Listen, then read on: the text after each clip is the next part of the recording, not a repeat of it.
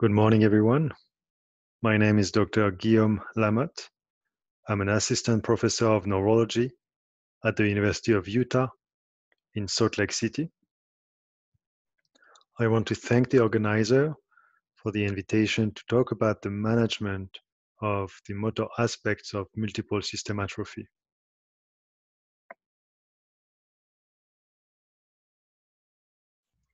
I do not have any disclosure related to this talk. Let's review the objective. First, we will review the different motor aspects of multiple system atrophy. Then we will discuss the management of Parkinsonism in multiple system atrophy. Finally, we will discuss the management of ataxia and other motor symptoms in multiple system atrophy. As an introduction, multiple system atrophy, or MSA, is a sporadic neurodegenerative disorder that is characterized clinically by autonomic failure with motor involvement of predominantly Parkinsonism for MSAP or cerebellar ataxia for MSAC. On pathology, multiple system atrophy is characterized by glial cytoplasmic inclusions composed of aggregated synuclein. So multiple system atrophy is a form of synucleinopathy. Clinically, patients with multiple system atrophy will present with a combination of symptoms such as autonomic dysfunction, symptoms of cerebellar dysfunction, symptoms that reflect involvement of the pyramidal tract, and Parkinsonism.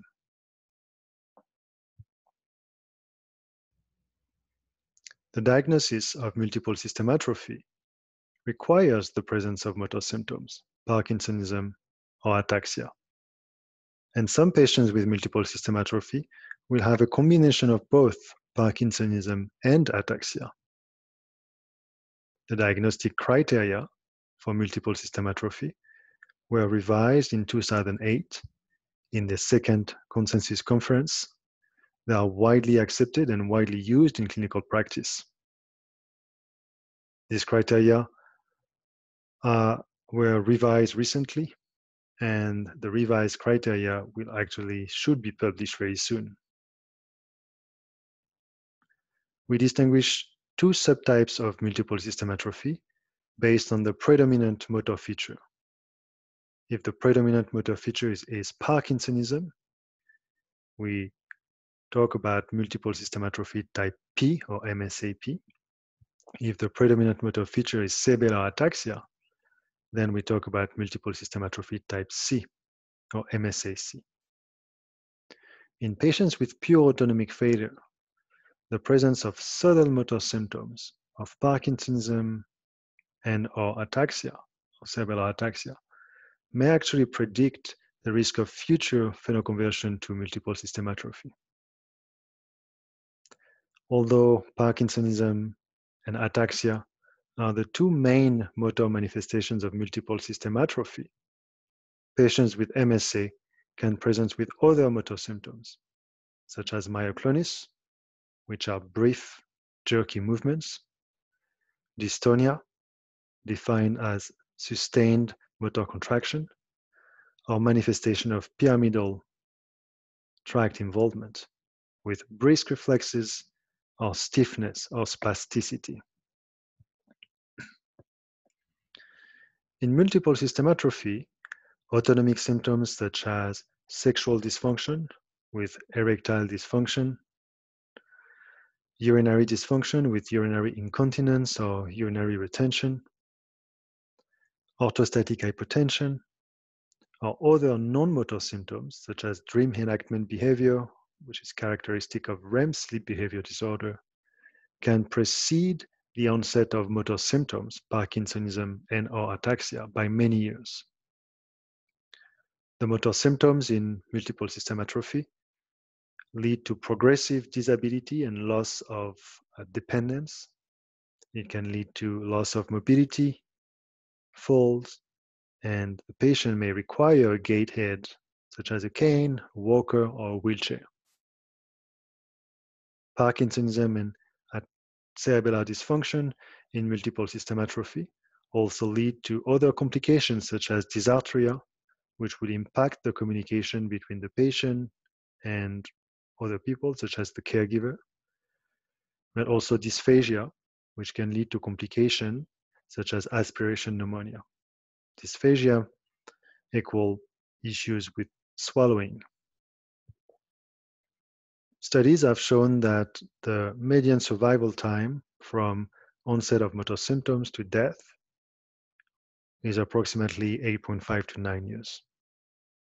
However, I want to point out that the presentation and the evolution of MSA is extremely variable, and each patient is different. So now let's talk about Parkinsonism in multiple system atrophy. It is the most common presenting motor feature of MSA. Parkinsonism is defined by the combination of bradykinesia, which is a mandatory feature, rigidity, tremor, postural, and gait impairment. Bradykinesia is slowness of movement, and the bradykinesia and rigidity in multiple system atrophy is often symmetrical, which is different from Parkinson's disease, where it's often asymmetrical. The tremor in multiple system atrophy is also different from the classic resting pill rolling tremor that we see in Parkinson's disease.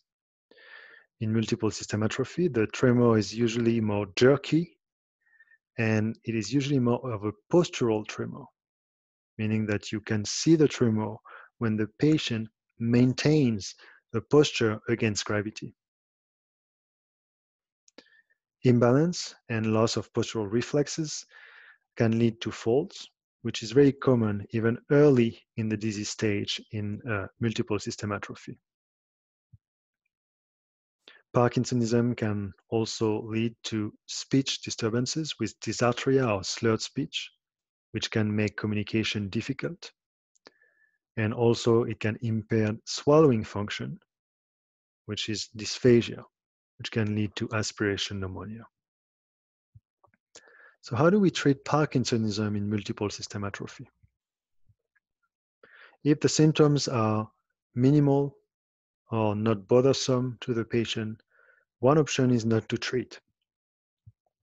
If the symptoms become noticeable to the patient, bothersome to the patient, then the best treatment is to use carbidopa levodopa or Sinemet.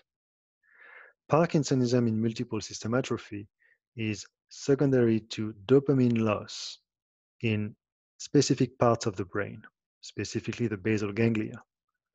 So by providing dopamine with carbidopa levodopa, the aim, the goal is really to improve the movements and the Parkinsonism.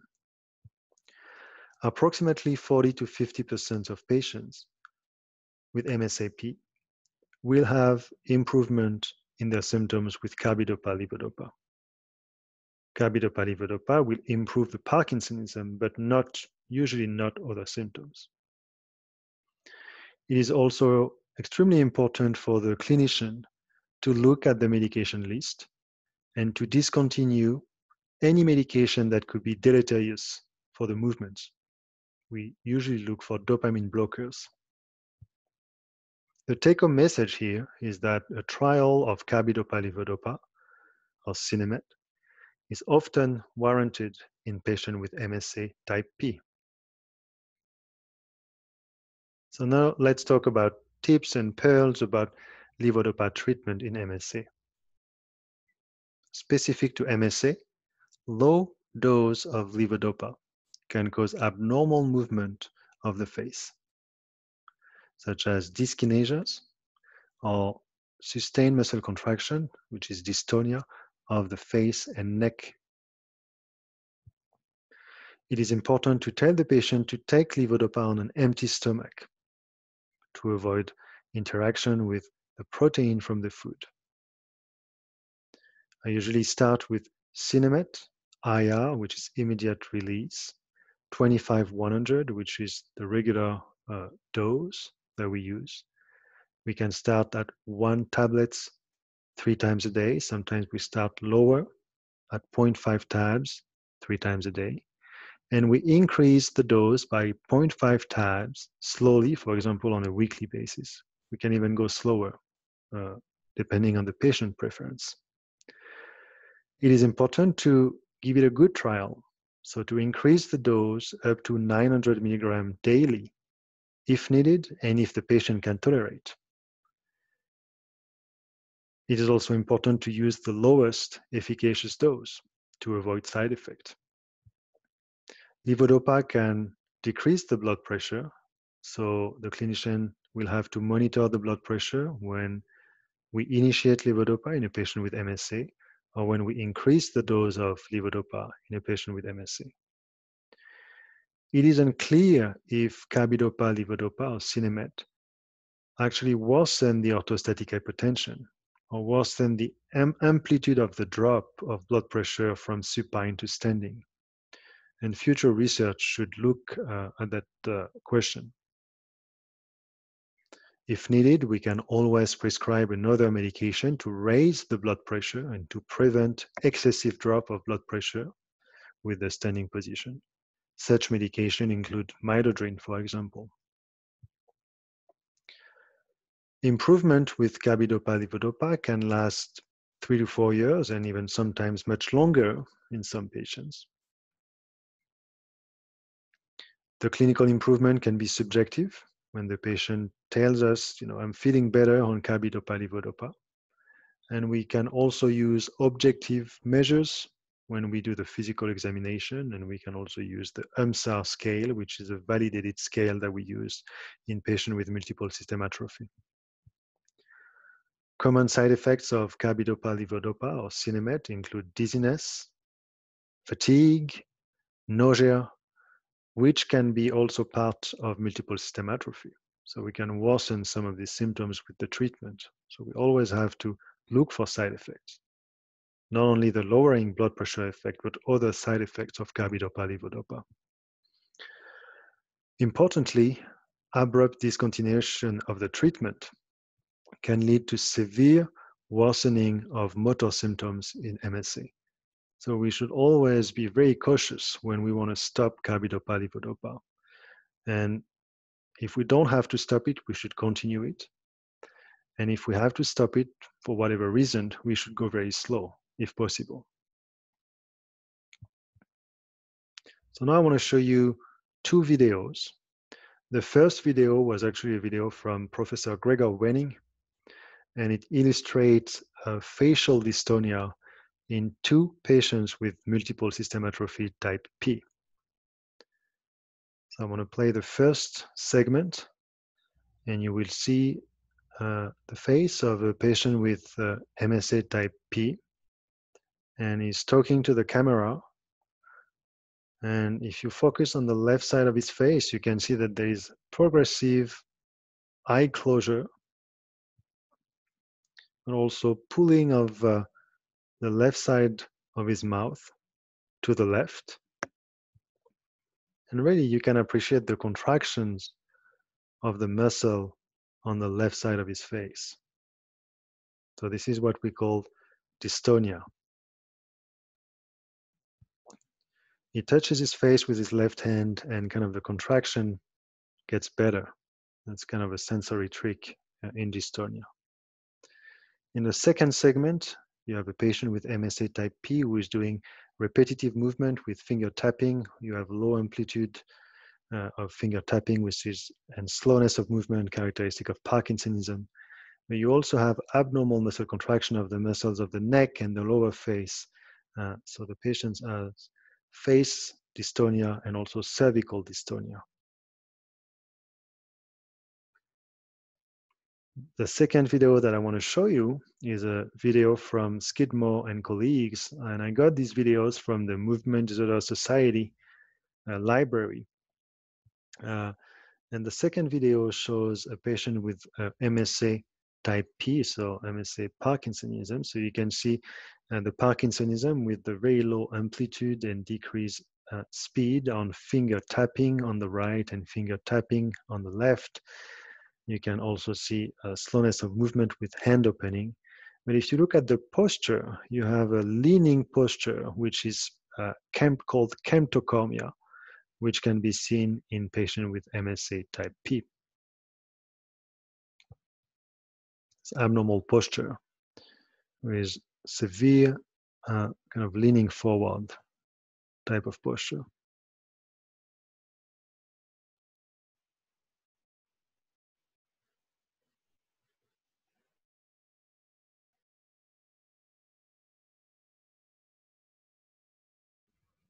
So what are the other treatments that we can use to, for Parkinsonism in multiple system atrophy? So let's first talk about medications. So there is a class of medication that uh, it's called dopamine agonists. They will uh, bind to dopamine receptors and have uh, a similar effect, uh, at least a similar target than levodopa.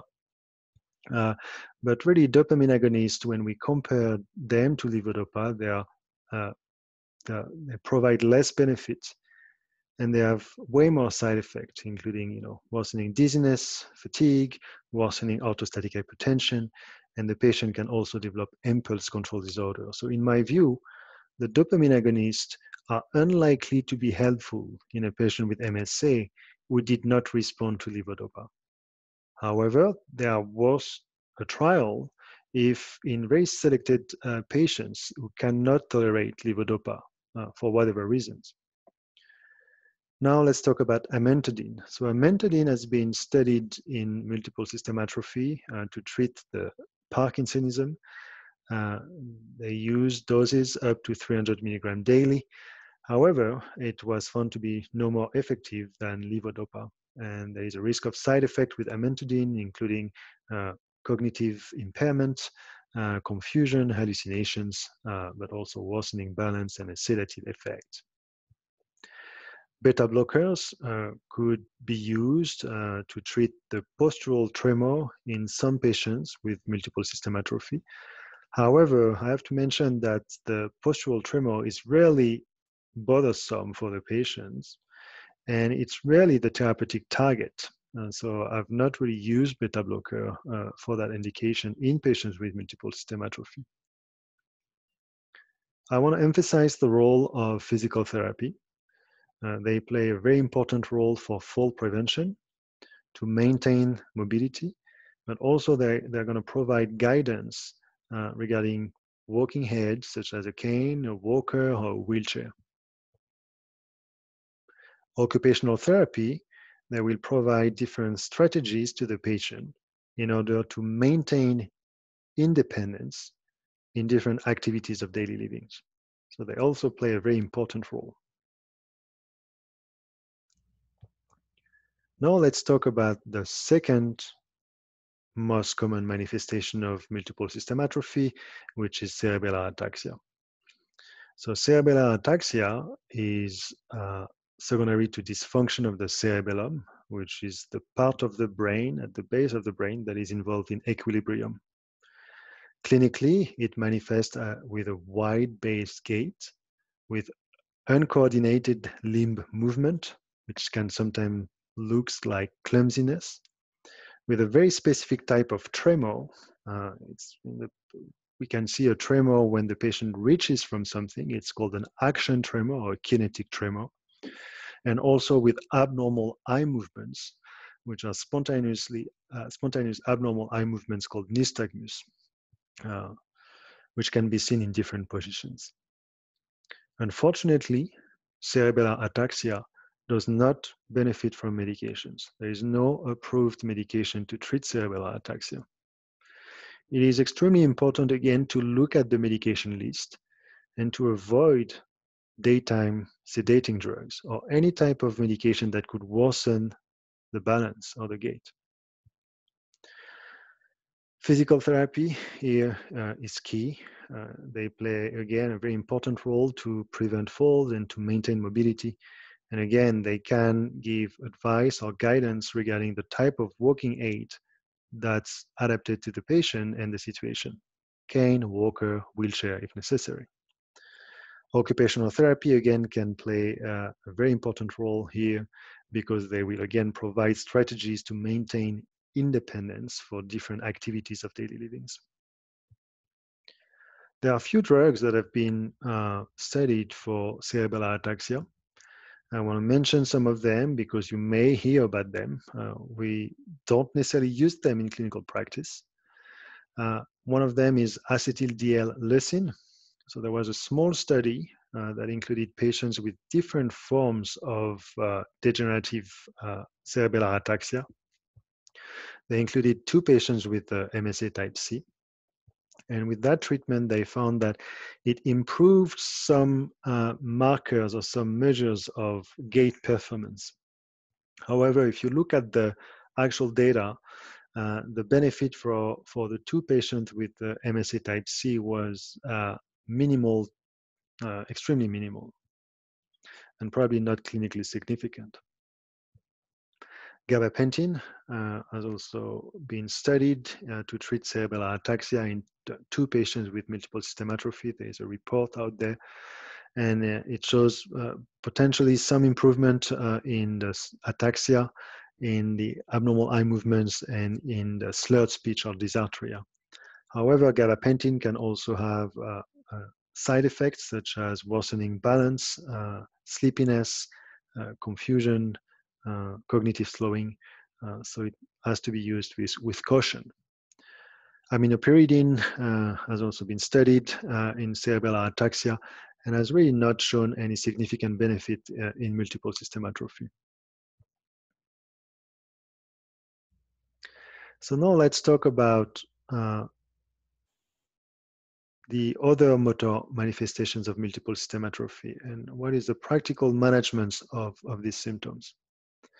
Uh, I want to talk about anterocollis uh, in MSA. So anterocollis is defined by an abnormal neck flexion, uh, as you can see uh, on the on on the on the picture here. So you have an anterior neck flexion with the sheen that's very close to the chest.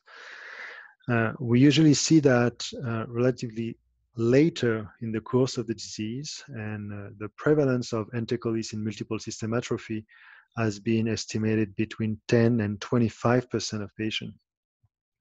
It is very challenging to treat, and uh, we usually refer this patient to physical therapy. Uh, they can do specific types of exercise uh, to maybe correct the position or at least limit the pain that can be associated with the position. Some patients report a response to levodopa, although most, the majority of patients do not re uh, report a significant improvement of the anterocollis with levodopa. And finally, botulinum toxin uh, has been tried with very limited success because the muscle that you would need to inject uh, to help that uh, dystonia or to help that forced uh, neck flexion uh, can actually worsen the swallowing and cause worsening dysphagia. Let's talk now about dystonia in multiple system atrophy. So dystonia is defined by uh, involuntary sustained muscle contractions. It can affect different parts of the body in multiple system atrophy. Uh, often affect the neck. Uh, it's called cervical dystonia. And uh, you may have heard of torticollis, for example, which is a type of cervical dystonia. It can also affect the limb, uh, the foot. Here you can see uh, kind of an inversion of uh, the uh, right foot, which is a common form of dystonia that we also see in patients with MSA and can affect the hands with the flexion of the finger or flexion of the wrist, which is one of the most common type of dystonia also. Uh, so dystonia is frequent uh, in patients with multiple system atrophy type P or MSAP. Uh, unfortunately, it rarely responds to levodopa, at least not as much as the other, uh, uh, as the Parkinsonism, bradykinesia, rigidity, uh, etc. It usually does not necessarily respond to anticholinergic, uh, or at least the dose that we would need to use usually cause side effects such as uh, sleepiness, um, worsening balance, falls. And uh, focal or segmental uh, cervical dystonia may be uh, helped by botulinum toxin injections. Uh, so that can be extremely helpful. Unfortunately, you know, it requires repeated injection because the effect of botulinum toxin only lasts about three months. So we would have to repeat injections uh, approximately every three months, sometimes a little bit uh, more spaced, but usually every three months. Now let's talk about myoclonus in multiple system atrophy. So myoclonus is defined by very brief uh, shock-like uh, jerky movements that are caused by muscular contractions or, or inhibitions. Uh, it's rarely bothersome to the point that it requires treatment uh, in patients with MSA. There are a few case reports in the literature uh, of benefit of drugs such as Keppra uh, or levetiracetam. Uh, clonazepam or benzodiazepine can also uh, be beneficial. However, again, we really have to be careful about the side effect of benzodiazepine uh, with sedation and uh, worsening gait imbalance in patients with multiple system atrophy. Now, uh, let's finish with the dysarthria and dysphagia. So dysarthria is defined by slurred speech in multiple system atrophy. Has kind of a different characteristics or multiple components. One is hypokinetic, which is a slow slowness in the speech, uh, characteristic of the Parkinsonism the ataxic, which is an irregular uh, speech, uh, kind of uh, characteristic of the cerebellar ataxia, and the spastic component, uh, which is kind of a strained uh, component, a strained characteristic of the voice, characteristic of the pyramidal uh, involvement. We do not have any medication to treat dysarthria in multiple system atrophy. And uh, the best treatment is speech therapy, uh, which can be helpful to uh, provide the patient with different strategies that they can use or exercise that they can use to improve uh, the, the speech. But also, they can assist with identifying the uh, different communication devices um, that may be the best for some patient.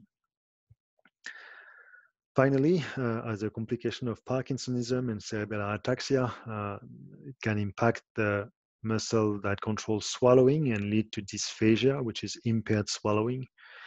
Uh, and again, here, speech and swallow therapy uh, is extremely important. First, they are going to identify the type of dysphagia and they can provide, uh, provide treatment recommendations. For example, uh, they can recommend a change in the consistency of the diet or texture of the diet. They can recommend change in, in, in the consistency of the liquids. Uh, and they can also sometimes recommend more invasive uh, procedures such as a, a gastric tube or PEG-G tube. Spasticity uh, is defined by an abnormal increase in muscle tone and it will cause uh, stiffness, uh, sometimes, which can sometimes be, be painful.